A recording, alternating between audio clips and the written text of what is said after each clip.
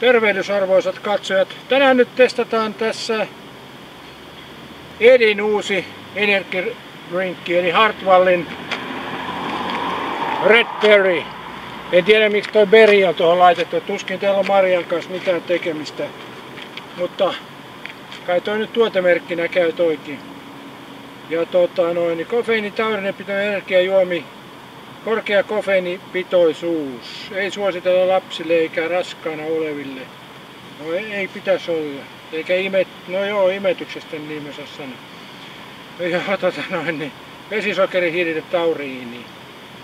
Ja nyt testataan sitten tämä maku. Eli tämä maksaa RL 3 euroa, mikä on aika sairas hinta kyllä tälle, mutta, mutta tieteen vuoksi on pakko jonkun näitä uhrauksia on tehtävä. Että Saimme yhden lahjoituksenkin tuossa yksi päivä, että sain kolme juomaa testattua, että kiitos vaan. Tän jouduin ostaa itse.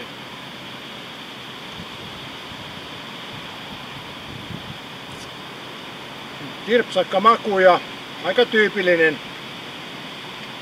maku ja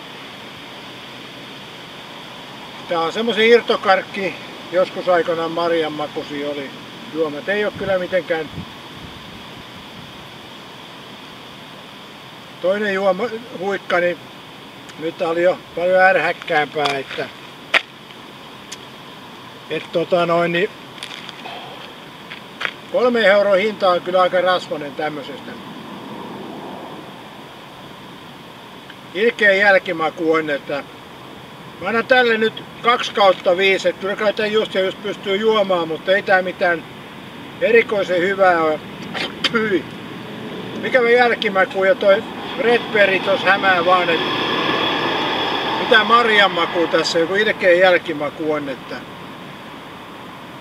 ei kyllä tarvitse toista kertaa nauttia. 2 kautta 5 tälle pisteet, että paljon parempiakin juomia on kyllä ja edullisia.